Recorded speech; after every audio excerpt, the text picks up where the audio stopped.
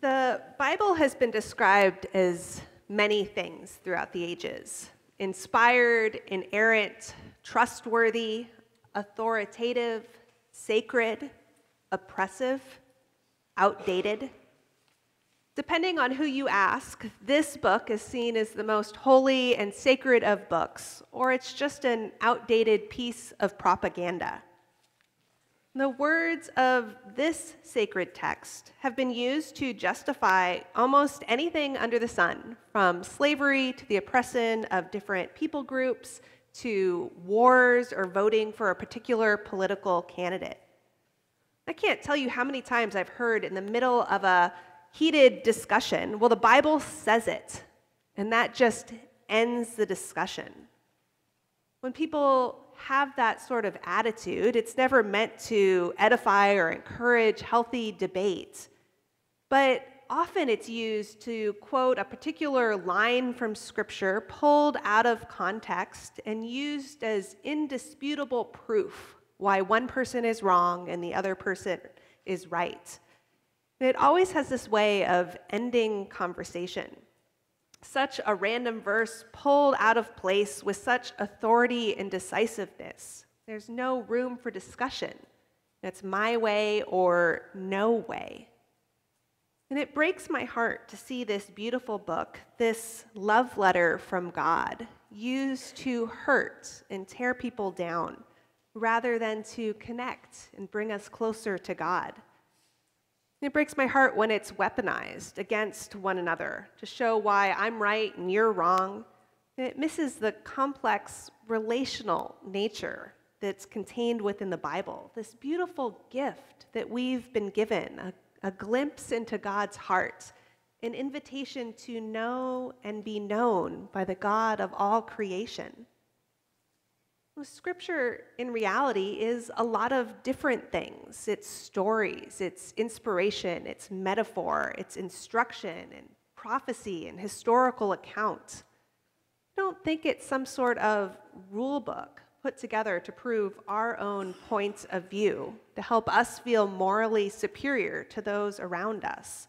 It seems like that's what it comes to a lot of the time. So, we're going to be spending the next month or so looking at the particular forms that the Bible takes and the purpose of these different pieces of literature that we've been entrusted to and that's been bound into what we know as the Holy Bible. Discovering the original form and intent of this particular book that has been loved by billions throughout the millennia. And through these pages, Together, my hope is that we will meet the living God in a new way and find ourselves in the story of God's people. This series is largely inspired by Rachel Held Evans' book called Inspired Slaying Giants, Walking on Water, and Loving the Bible Again. if this is a topic that um, you're curious about, it's a fantastic book. She talks about her conservative upbringing and how her views of the Bible have changed throughout her lifetime and um, how she has drawn inspiration and fallen in love with Scripture again. So I'd encourage you to pick it up if you haven't read it already. And throughout the book, she looks at different types of Scripture, different types of stories that are contained within it, um, the forms that these stories take, and what they communicate to us as God's people. Because of this, um, we recognize that the point of reading the Bible isn't just to know more about the Bible. You know, to become a pastor, there's a the very first test you have to take to become a Presbyterian pastor is the Bible content exam, which we eye leveling refer to as like a Bible trivia, and it's the most minute details of the Bible. That's really not the point for me of reading the Bible. The point is to fall in love with God and to feel God's love on your life drawn into this story of God's people since the beginning of time. And so we're going to begin today by looking at what the Bible has to say about itself and how that interpretation, um, that lens that the Bible gives us of what the Bible believes about itself and how the Bible is meant to be used, helps us interpret God's word today. I'm going to share with you a passage found in 2 Timothy written by the Apostle Paul um, shortly after Jesus died and was resurrected. Paul is offering encouragement to an early group of Christians who are seeking to follow Jesus' teachings in a world that was radically different to the way Jesus taught them to live. And so he offers the following words of encouragement to them to lean into Scripture for instruction and guidance as they sought to engage God's work in the world. I think these words are enlightening for us today. And so I invite you to hear them today. But as for you, continue in what you have learned and firmly believed, knowing from whom you learned it and how from childhood you have known sacred writings that are able to instruct you for salvation through faith in Christ Jesus. All scripture is inspired by God and is useful for teaching, for reproof, for correction, and for training in righteousness, so that the person of God may be proficient, equipped for every good work. For the word of God in Scripture, for the word of God among us, and for the word of God within us. Thanks be to God. What a great description of what Scripture is meant to be. That it is inspired by God, that it's literally the word in Greek is God breathed. Like how the breath of God moved over the formless void in creation and brought the world into existence, or how God breathed life into Adam and Eve, or that the breath of God moved over the people in the winds of Pentecost. That scripture, this breath of God, is useful for teaching and for reproach, correction, training so that we, God's people, could be equipped for every good work that God has called us to. So different than what I ordinarily think of when I think of what this book is meant to do. I think part of the challenge we have in understanding the Bible is that we want it to be something that it is not. It's not a black and white rule book with step by step instructions on how to live a good life or have a happy life. It's not irrefutable fact that's easy to understand and that everybody agrees about. It is a guidebook of sorts, but it is nowhere near as straightforward as we'd like it to be most days. And it's anything but simple. Even this passage, which is contained in what we have as scripture today, is difficult to understand. The Apostle Paul says that all scripture is God breathed. But what scripture is he or referring to? Because he didn't have this book. All he would have had was what we know of as the Old Testament today.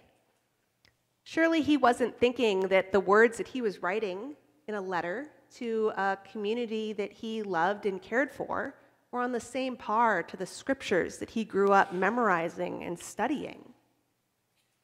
Which books of the Bible are God breathed? Is it only the ones that made it into the Bible we have today? Because this list of books wasn't assembled until 400 years after Jesus walked the earth. To say nothing of the different versions of the Bible that we have today. We see in the original versions, the earliest versions of these books that used to just be individual letters or books copied by hand over and over again, that there'd be small changes to the words or the syntax, errors in handwriting over the centuries, creative interpretations about what different words meant in their context, in the context that they were originally written in. When the Apostle Paul says that all scripture was inspired by God or God breathed, does that mean that God only inspired the scriptures in their original language? Or is our English Bible today inspired? And if so, which English version is the most inspired? What about the 2,000 other languages that the Bible has been translated in? are those God breathed as well? What about the crazy things that the Bible does say? There are verses that advocate for slavery or say women should have their head covered in church or that you should pillage one's enemies after war. How much of the original context of these verses should we take into account as we're trying to apply these inspired, God breathed words on our lives today? I found that my understanding of the Bible has changed greatly over the years. As a young believer, the Sunday school stories filled me with awe and wonder. You know, the young David slaying the, the giant Goliath with a pebble, and Jonah living in the belly of a whale, or Daniel taming lions. These biblical characters felt bigger than life. They were real life superheroes that I aspired to be as I wrestled with my own lions in life. In college, I attended a conservative youth group where the Bible became sort of a rule book for how I should act. And it gave strict guidelines, so my youth pastor said, on how long my shorts should be so that I would be modest, and how long and late it would be appropriate to stay out on a date with a boy without um, causing myself to sin. In college, the Bible provided to me clear rules to follow, and I knew for certain if I was pleasing or displeasing God. As a young adult, the Bible became much less clear cut for me. And as I read more of the Bible myself and encountered these stories that just didn't make sense, there were many rules contained in these pages that seemed incompatible with my understanding of God as a just and loving God. It was God really care if we eat shellfish or not? What about God's command that we shouldn't wear mixed fabrics? Would guess that most of us have some article of clothing that's polyester on today, which is a biblical no no. I discovered that far from being clear cut, that you could argue almost anything from the Bible. And it wasn't always as easy as I'd been told to know which side was right. Now I find the Bible to be much more nuanced, that so much care and thought needs to be given to how we understand some of these difficult passages in Scripture. The cultural context, both in the day that they were written and the day that we live in now, are so important to how we interpret this inspired text that we've been entrusted with. I find the Bible to be a good conversation partner, that I can interpret various stories and verses in the context of this overarching theme of God's love that runs through every single page of the Bible and that it's helpful to interpret the most difficult of these passages within the context of you all, of other people who are seeking to know and love Jesus. That it's needed to have different opinions and perspectives as I am trying to understand what is not always a clear cut um, piece of scripture. That together, through conversation and prayer, the true purpose of Scripture comes more into focus, and I'm able to be more faithful to how God is calling me to live. This dialogue with Scripture and around Scripture is an ancient practice that was embedded within the Jewish faith that saw Scripture as a starting point of a conversation, that through rigorous push and pull with one another, that they would have a fuller understanding of God's purposes and love. And I love that today, within our Presbyterian tradition, we don't all have to believe the same thing about Scripture in order to belong. That it is through these differences and different perspectives and different experiences in life that we teach one another what this inspired text has to say for us and wrestle together with these difficult passages as we seek to understand what they might say to us today. The passages in the Bible do contradict each other at times, or seemingly so. There are many passages that say women should remain silent in church, and yet here I am. There are others in Scripture that say women were leaders and apostles in the early church, that they played an important role. There are passages in the Bible that say that the Israelites should smash the babies of their enemies on rocks. That goes in direct contradiction to Jesus' teachings on forgiving your enemy and God's promise to bless all of creation. Or what about Jesus' command to gouge out your eyes or cut off your hands if they cause you to sin? You'd think that if this was meant literally, that we'd see a whole lot more blind, no handed Christian followers walking around. And yet, even in Jesus' day, people didn't take this literally. Or even the fact that we have two completely different creation stories contained at the very beginning of our Bible. The first one says man and woman were created on the sixth day by God, and God breathed life into them, followed immediately by a second story that says God made man, and from the rib of man, woman was created. They both can't be factually true. So, what truth do they each convey? The reality is, Scripture is 100% true, but it never claims to be 100% literal. In our passage today, God breathed into the text that it is sufficient for teaching and for good works. It doesn't say that it is factually accurate for this to be true still. The Bible is meant to inspire us, to draw us into the story of God's love, and then send us out to the world to share that love with others. I think often we confuse this idea of inspiration with this concept of inerrancy. At its core, inerrancy means that the Bible is correct, that it communicates what God intends it to communicate, that it does what it says, it teaches and edifies and inspires. And this is true. But I think often we push inerrancy farther, and we think that means that the Bible has to be 100% factually correct in order to be true.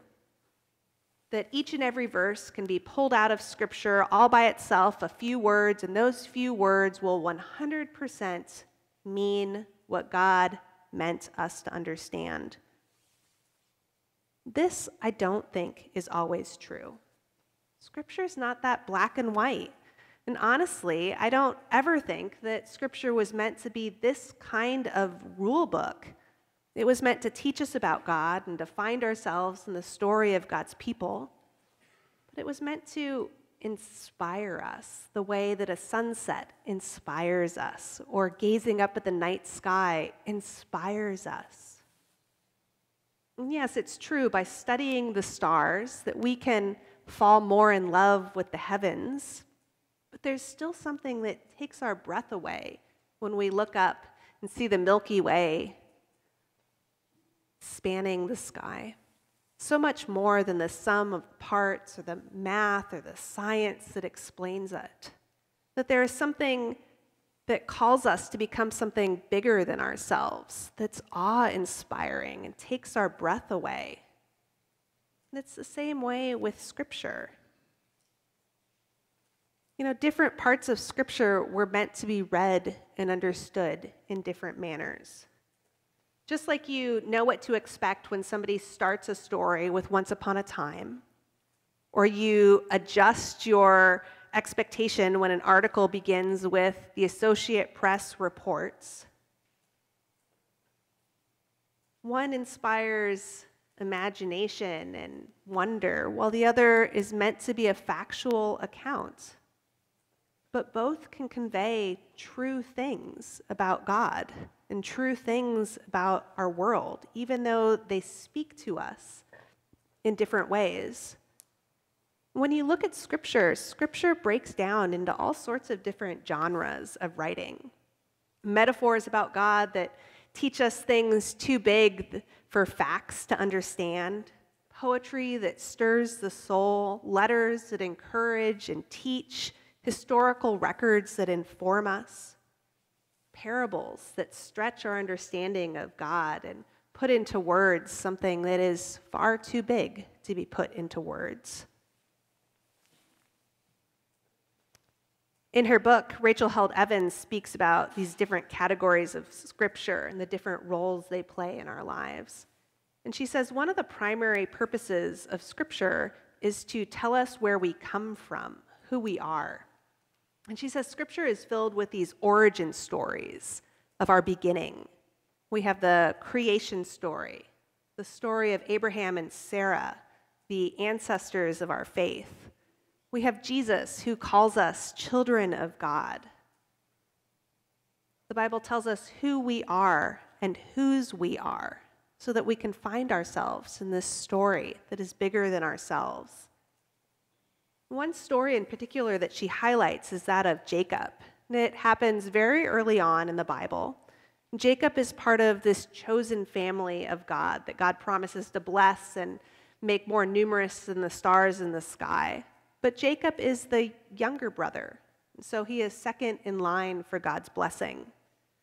Yet somehow he manages to swindle his brother Esau out of his inheritance and trick his father into giving him his birthright, this blessing that was due to the oldest son. And because of his trickery, Jacob becomes the one whom Jesus' family line is traced through.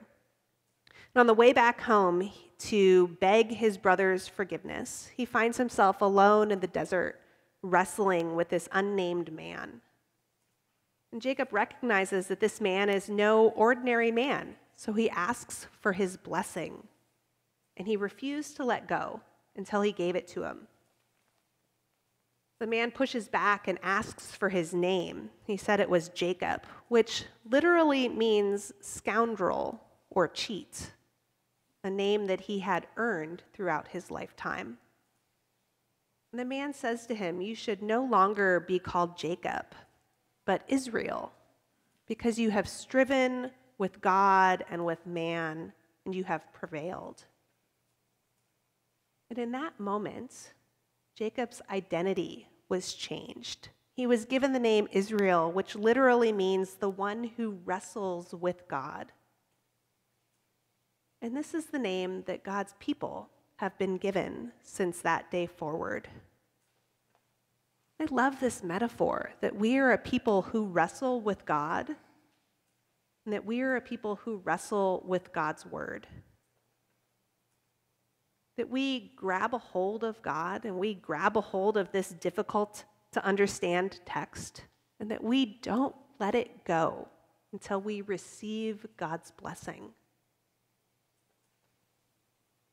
This idea of being the one that wrestles with God recognizes that faith is rarely straightforward and easy to understand. That it often takes some give and pull, some wrestling, some time, some questions to understand the deep wisdom contained within its pages. Our God is a relational God and invites this sort of wrestling because this Bible, this sacred text we have been given, is a relational text that we work out through prayer and through conversation as we discuss and debate and tease apart the message that God has for us today. Over the next few weeks, we're going to be looking at some of these different stories and the types of stories that the Bible tells that are often difficult to understand. Things like war stories and deliverance stories, the gospel stories of the miracles, and wrestling together with this text as we seek to discover what God has to say to us today through it, and what good works we're being equipped to do in the world around us. Until that time, I invite you to ponder how the Bible has inspired you throughout your lifetime, throughout your relationship with this text? What does it mean that the Bible is sufficient for teaching and for good works? And allow yourself to be swept up in the awe of this beautiful gift that we have been given together. Amen.